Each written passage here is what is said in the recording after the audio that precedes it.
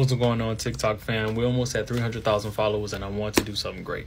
As you guys already know, I have a bunch of holistic protocols and XYZ on my site. I offer up services, consultations, X, Y, and Z, but I want to do a giveaway.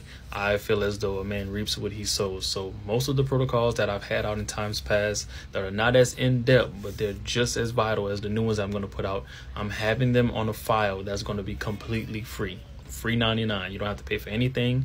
It's a google drive link. You go to it and then you're going to just save it. So within the next 30 minutes to 45 minutes i will be posting it. I will be having it live. You can click the link in my bio and whenever you go to it it's just going to say free protocols.